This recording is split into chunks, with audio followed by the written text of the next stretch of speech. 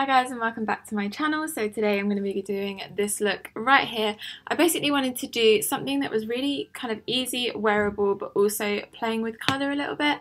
Um, and it's a little bit more on the dramatic side, so really good maybe for like a night out or like, I don't know, a wedding or whatever it is that you want. Jumping straight into the tutorial, I'm first going to prep using this Air Cosmetics um, like 24 karat facial serum. Kind of reminds me of the Farsali Rose Gold Elixir, um, but it's kind of more hydrating, more of a gel consistency, and it smells like Turkish Delight, which is a dream. And then I'm just going to use the combination of um, the Fenty Beauty Pro Filtr Primer and Foundation. I'm literally obsessed with the combination of the two.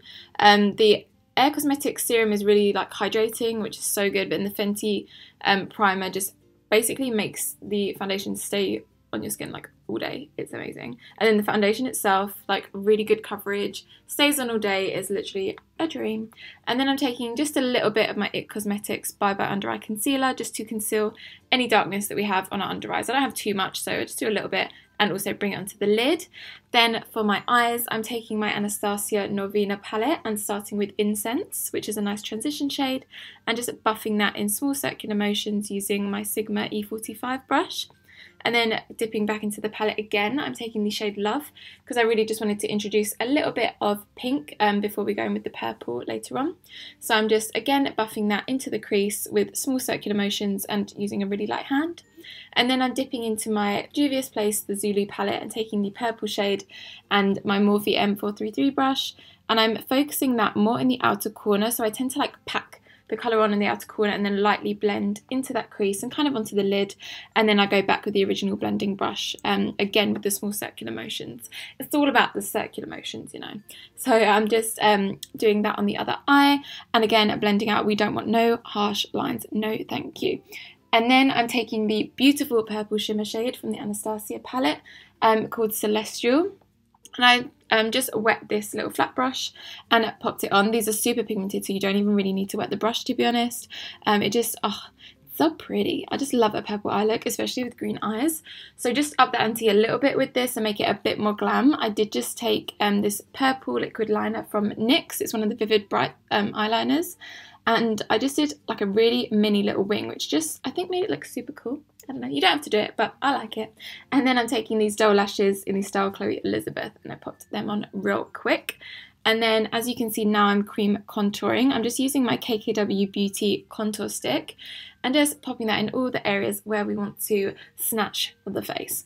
And then to blend this in, these um, contour sticks are really really good and like so easy to blend um, so I'm just using my beauty blender and really lightly patting and blending that into the skin and this honestly doesn't take very long at all. It is really, really easy. It does obviously come with a brush. Um, or did I have to pay separately for the brush? I don't remember. The brush is good, but I personally just prefer the finish of using a beauty blender.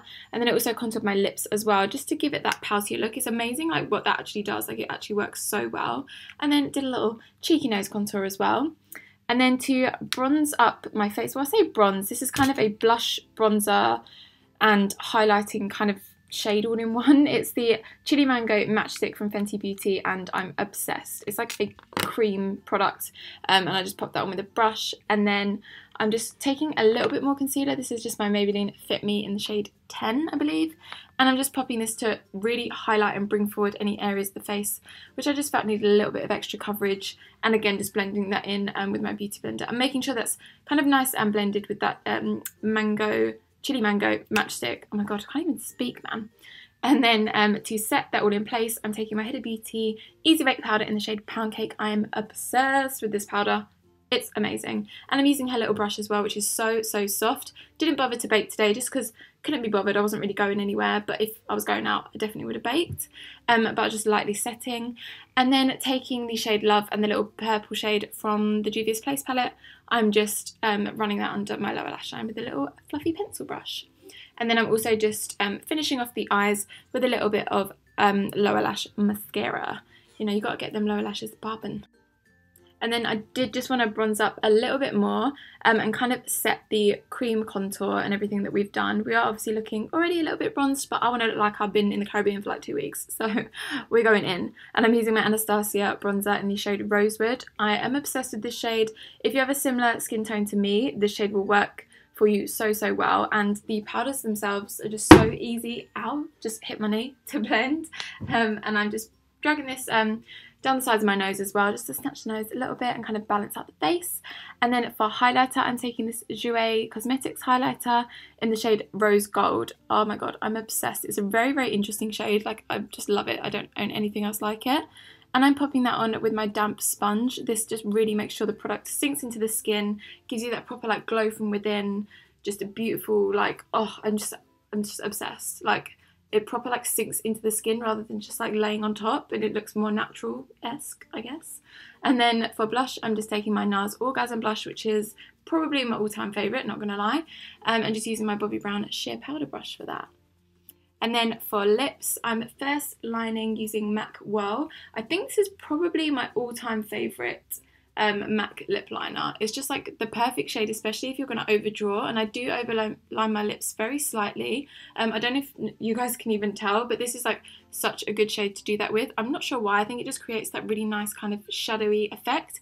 And it also just kind of contour the lips um, if you draw those like little lines in the middle. I don't know what it does, it just makes it look a bit more pouty. And then for lipstick, I'm going in with the Jamie Genevieve lipstick from MAC.